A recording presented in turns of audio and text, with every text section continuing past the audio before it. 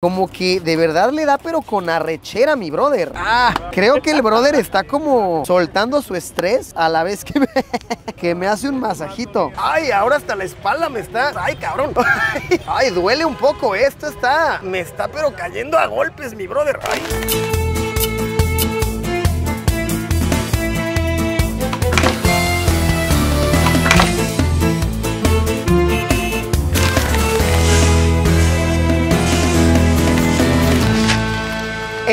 El comercio callejero está en otro nivel. Nos encontramos en una ciudad pequeña llamada Udaipur y vean esto. Esta es una calle promedio cotidiana que es un perfecto ejemplo de lo que les quiero contar. Aquí encuentras de todo. Personas improvisan sus puestitos callejeros en los que te venden telas, frazadas, cubrebocas, cepillos de dientes, toppers, cucharas, té. Puestos de té es algo muy normal. Cigarrillos, venden mucho una cosa que le llaman biri, que son como los cigarrillos baratos, que básicamente son hojas de tabaco, a veces les ponen otras cosas adentro y te venden el paquete a 10 rupias, que son unos 15 centavos de dólar. Vean este otro carnal, por ejemplo, aquí mi brother está vendiendo telas, pantaloncitos e improvisó su puesto, vean esto, en una motocicleta. Entonces sí, te vende que si el babero para el bebé, que si lo, lo que se te ocurra. Llega al punto el comercio callejero en que es algo cotidiano poder cortarte el cabello, rasurarte la barba en plena calle, en plena vía de tránsito. Te pueden hacer un rasuradito, te pueden hacer un bigote muy exótico. Así que hoy me voy a quitar una inquietud que he tenido desde que llegamos a este país. Hoy vamos a irnos a chulear en plena calle. Vamos a buscar a un auténtico barbero callejero y vamos a pedirle que nos refresque tantito el look, que nos retoque la barba, que nos deje bien guapetones. Pues venga, comencemos. Normalmente diría vamos a darle, pero estamos en India, así que diré chalo.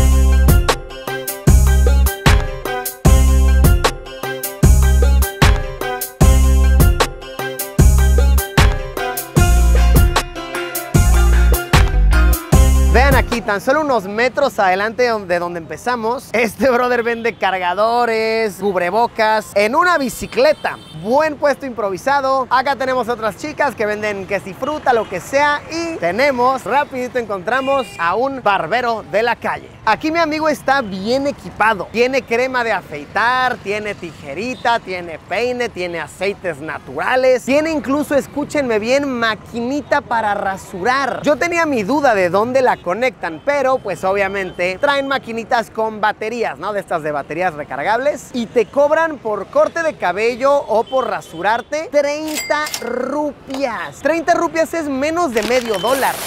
Personas, por ejemplo, de México son 10 pesos. El corte de cabellito, la rasurada. Entonces, bueno, ya negociamos, ya nos dijo que sí nos deja grabar la experiencia. Y venga, pues démonos a entender cómo podamos, a quedar bien guapos con un estilo de las calles de India. Chequen esto, ¿eh? Tiene su agüita aquí, su spray para peinar, peines, tijeras. Obviamente nada de esto se lava, ¿no? O sea, obviamente la máquina con la que me van a cortar, pues ya la usó muchas veces mi carnal. Pero pues no le hace, ¿eh? Miren aquí para rasurar. Órale, está bueno su kit. Y ah, miren, tiene su agüita aquí, ¿no? Su brochita para, para la barba. Y aquí su pequeño basurero. No, pues re bien. A ver, pues hagámoslo. Miren, aquí mi brother te ha instalado su espejito aquí, ¿no? Para que te estés viendo, su agua. No, es un puesto completo. Pues venga, lo que le estoy pidiendo es que me haga un rebajadito de pelo aquí. Ya saben, como muy de los chavos de hoy en día, ¿no? Pues con la maquinita. Que me siga todo esto. Y pues yo confío en mi carnal. Y chequen aquí, él lleva poniéndose en esta esquina 27 años. Oigan, pues nada mal el trabajo de mi pana, ¿eh? La verdad lo está haciendo muy bien. Vean, ¿eh? Hasta le peina ahí.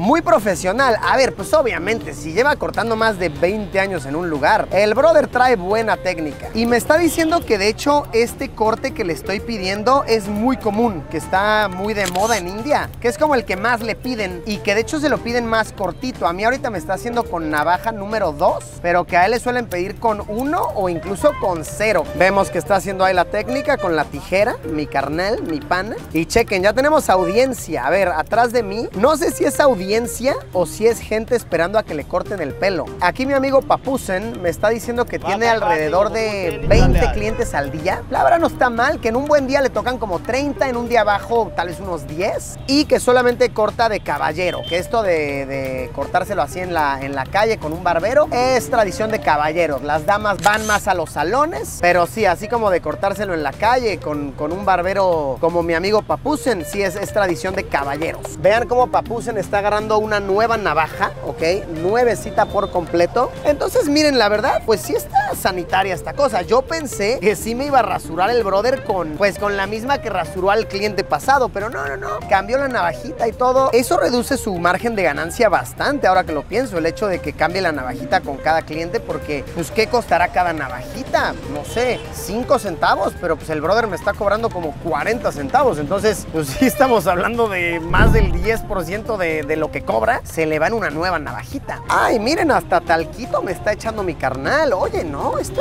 es un servicio de 5 estrellas. No, hasta talquito para no irritarme, para que no me piquen los pelitos que caen por ahí. Me está ofreciendo ahora por 20 rupias adicionales, la verdad muy poquito, un masaje con este aceite de unas como uvitas que crecen acá en los campos de la India. Vean, de hecho es esta frutita de aquí, aguala, de la que está hecho ese aceite. Pues vale, hagámoslo. Ok.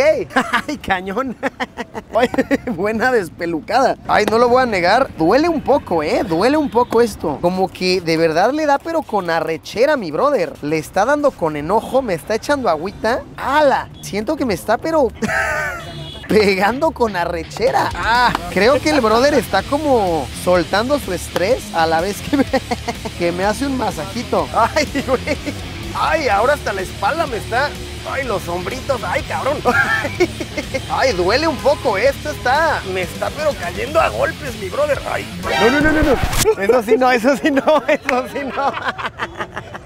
Ya me iba a torcer el cuello. No, no, no, no, no, no. Ay, caramba. Uf, oigan, eso estuvo duro, ¿eh? Estuvo golpeador, pero curiosamente me siento relajado. Dice mi hermano que normalmente por ese servicio cobra 50 y que hay personas que nada más vienen por eso, por un masaje. Y eso aumenta su rango de clientes, ¿no? Que hay personas que nada más vienen a eso. A mí me lo dejó en 20 porque pues ya es como el combo incluido. Ya me cortó la barbita. La verdad me gustó bien. Me hubiera gustado un poquito más larga que me la dejara, pero miren, así dura más. Y ahora me echó como agüita, me echó una loción. La verdad huele rico, huele sabroso. Y me va a hacer el pequeño, el detalle, el perfilado, eh, con una navajita que la volvió a cambiar, ¿eh? Entonces ya se gastó dos navajas en mí. No, pues muy bien, ¿eh? Muy profesional, mi brother. Ok, vamos a ver. Literal estoy poniendo mi vida en sus manos.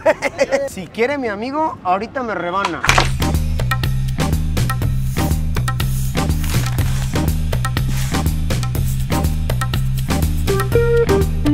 Para la barba se lució mi amigo. Me pasó navajita, me pasó unos aceites, me pasó una, una crema para no irritarme. Luego me pasó una piedra también como para la irritación. Luego me hizo un masaje, pero de verdad duro, así. El brother sacó su frustración en mí. Severo, se ve que disfruta su trabajo y...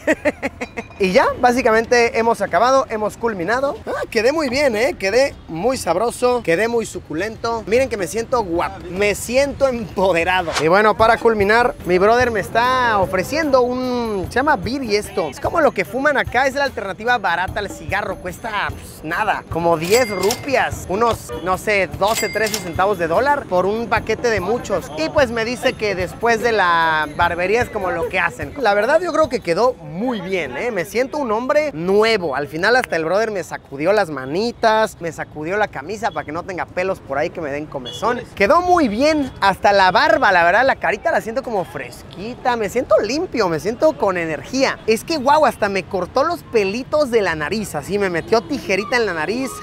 Quedé como Catrín. En total me cobró 120 rupias, que son como como, un dólar cincuenta más o menos, de verdad muy barato. Yo le di más, ¿no? De propina, obviamente por la buena onda y por dejarnos grabar y todo. Pero sí, el precio que me está dando por todo, así con el masaje, con la barba, con que me dio un agitón de cara y así, fueron 120 rupias, la verdad. Miren que una experiencia 10 de 10. no me arrepiento en lo absoluto y me dejó muy guapo, de verdad, me siento bien. Quedó bueno el look.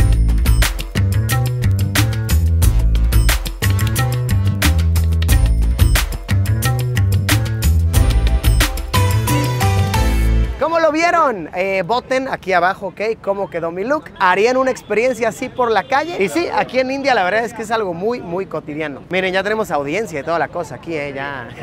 ah, y ojo, no toda esa audiencia. Muchos están formados. Luego, luego que me paré de la silla, entró otro señor y luego, luego lo empezaron a atender de nuevo. Mi carnal acá, muy popular y obviamente no por nada lleva 27 años en esta misma calle. Pues como lo han visto, amigos, amigas, muchísimas gracias por haberme acompañado en este video, en esta experiencia. Yo me voy a las calles de India a lucir mi nuevo look guapetón y nos vemos como siempre, ya lo saben, en unos días con un video nuevo. Adiós.